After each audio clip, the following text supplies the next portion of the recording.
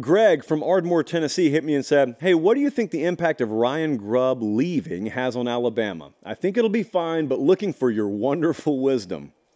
Well, Ryan Grubb was the offensive coordinator for 10 minutes, maybe, and then he took the Seahawks OC position. Scott Huff was going to be the offensive line coach at Alabama. He also went to Seattle.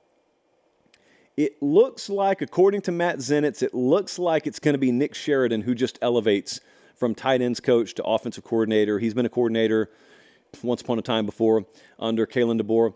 I don't really care. Kalen DeBoer is just going to call the plays this year because that's what's about to happen in Alabama. He's done it before. It's his system. I'm very interested because we hadn't really seen Grubb do it without Kalen DeBoer. So not that I'm glued to Seattle Seahawks football on Sunday afternoon, but I'll be interested to see him without alignment next to Kalen DeBoer for the first time. I actually think Huff is the bigger loss. That guy had the Joe Moore Award winning offensive line this past year. And I uh, don't think it's lost on anyone watching this show how much that Alabama offensive line struggled. That was going to be a big upgrade for them. I mean, I'm, I'm looking at Bama lose Ryan Grubb, and while I had respect for the guy and still do, Bama losing Ryan Grubb, I think it's not even as big a deal as them losing Scott Huff. I mean, look, no one freaked out, for example, when Kirby lost Dan Lanning. You wouldn't freak out if he lost Glenn Schumann. You wouldn't freak out if he lost Will Muschamp. Why? Because it's Kirby's defense. You don't freak out when he loses guys on his side of the ball. Did you freak out when Josh Heupel lost Golesh to USF? These are good coaches, but you don't freak out when they lose them because you know they possess the ability to call that side of the ball themselves. It's what they've done their whole life. I don't care if he loses Grubb. Scott Huff, I kind of care if he lost. And he lost Scott Huff. And uh, again, I'm not the one sitting here grading staffs in February. Uh, I think it is well within our right to just take a little while and see how it looks this year. Could these things matter? They could matter a great deal. Could we also see a staff that gels and is great at Alabama in their first year and hits the over nine and a half wins? Sure, we could. Could they win seven games? Sure, they could. Like all of those things are on the table.